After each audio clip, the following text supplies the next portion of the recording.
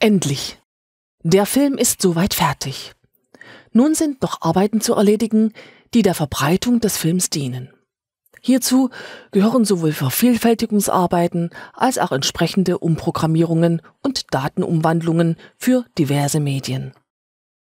Schauen wir uns aber die Teilvorgänge dieser Phase, also der Phase der Distribution, nun im Einzelnen an. Programmierung auf DVD.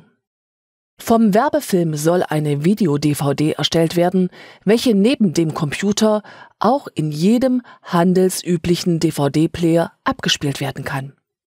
Die entsprechenden Programmierungen werden in diesem Teilvorgang vorgenommen. Außerdem soll der Film als Video im Internet eingesetzt werden. Hierfür ist auch eine Umwandlung in ein internetfähiges Datenformat notwendig.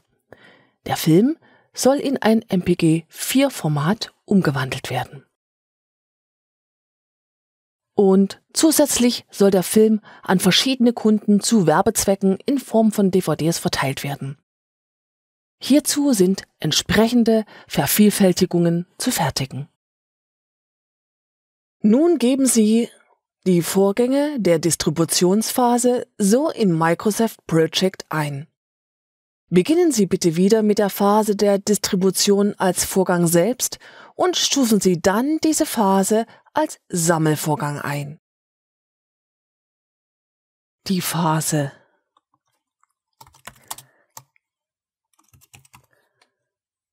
Der Distribution. Distri oh Gott. Distribution und dann Programmierung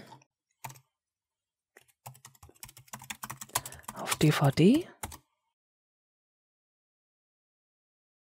Denken Sie dran zur optischen besseren Gestaltung hier entsprechend das einzustufen.